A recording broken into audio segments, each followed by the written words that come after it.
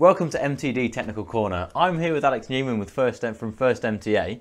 Welcome to the show, Alex. Cheers, Rowan. Thanks for having us. Yeah, no worries. Absolutely no problems. Pleasure having you here. We're going to be talking about the Walmag magnetic base system. Now, could you give me a quick overview of the of the system, please? Yeah, yeah, sure. So, um, Walmag are a Czech company. Have been specialising in magnetics for 60 years now, um, over 60 years. Um, they offer a wide range of magnetic solutions uh, for kind of the CNC industry, um, whether that be kind of milling, turning, grinding, um, lots of different options. So, what's the current product range? What what specific magnet magnetic so, bases do they do? So, it's kind of broken into three different sections. You've got the permanent magnets, um, the electromagnets, and the electropermanent magnets. And what's so, the difference between those, please? So, the permanent magnets are very much kind of lever operated, um, so manually actuated, and um, so they have a lot of advantages in terms of if you want a flexible solution that's easy to take on and off of the machine or move on to different machines, you obviously don't have to take a controller with you. Um, so it makes life a lot easier and those come in both kind of milling and turning um, options. So that's just an all-in-one solution. There's no wires coming out of it. It's just no. a single lever. You clamp it down. Very easy to use, yeah, exactly. Um, the next one, uh, electromagnets, um, require a constant current running through them. Um, they're nice in terms of you're um, easily able to adjust the amount of grip force um, by adjusting the current going so does that come in the form of an extra contro controller box or can you control yeah. that via your so machine? both the electromagnets and the electropermanent magnets both use a separate controller so um, yeah that's just um, yeah you can either have that integrated into the machine or you can have it um, as a separate unit and so how do the electro-permanent magnets work? So the electro-permanent magnets are act, uh, activated by a pulse of electricity. So it will be pulsed to um, magnetize and then a pulse to demagnetize the magnet. Right, okay. Um, so it has the advantage of not having to be constantly connected. So let's say you were using it on a fourth or fifth axis, for example, you wouldn't have any cables that you have to worry about, but still have the ease of using a um, an automated system. Exactly. Fair enough. So you can control from the from the machine control. So can you give us a quick overview of why you would use? Why would you? So I've, I've never used a MagBase uh, personally before. I've always just used bog standard vices.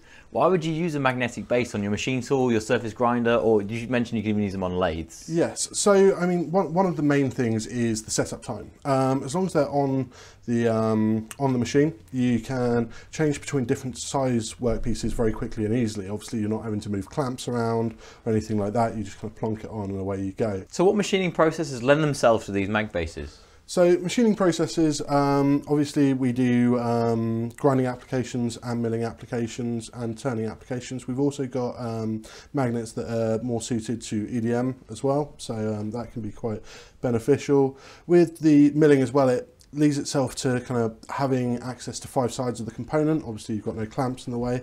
And also by doing that, you're not having any sort of excess material and no potential damage from clamping it or anything like that. So if you've got fragile components, if you've got loads of steel components that happen to be maybe small, thin and fragile, this is the okay. perfect solution for you. No, definitely. I mean, I, um, the the smallest um, the smallest thickness that we can get down to is 1.5 millimeters, um, which really does leave a lot of options open. Obviously, the the way you go about selecting a magnet for that sort of application is the um, the pitch of the poles. So the more fine the poles are, the, so the for example, with this, you've got a small thin component, so you need exactly. quite fine pitch on your poles. Is that correct? Yeah, to be able to to be able to put that optimum amount of grip force in. but a single steel that. part you can have quite coarse poles. Yeah, yeah, definitely. I mean, um, as you can see underneath this magnet, we've got the master mill, and as you can see, large poles, big spacing on them.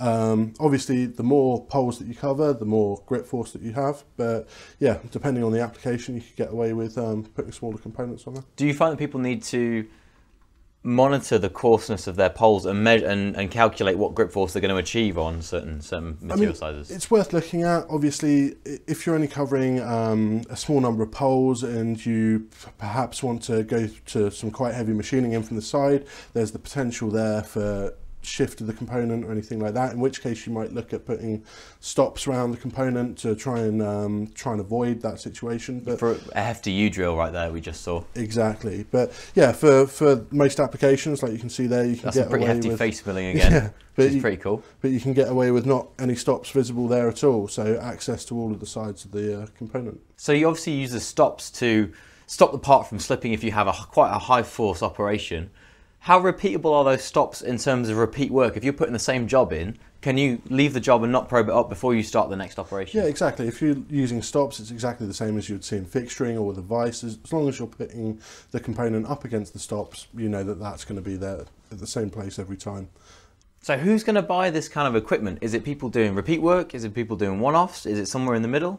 I mean, it can be used for a wide range of applications. I mean, obviously, you've got the advantage of not having much to set up if you're doing one-offs, but at the same time, if you're doing that production run and you do go down the electromagnet route or the electro-permanent, you know, you can put those, if they are integrated into the machine tool, you can put that automation in to whether it be robotic loading um, or whether it's loaded by an operator, you can really make that a lot more fluid than you would necessarily see in other work holding. Without having to wire in some pneumatic vice vice grips and worry about your your accuracy with the vice as soon as it clamps on, then so you, you if you install one of these, then you're actually looking at future proofing your machine for maybe automation in the future or auto- automation right now if you're ready for it. Perfect. Yeah, as long as you've got the correct components for it, it's ideal.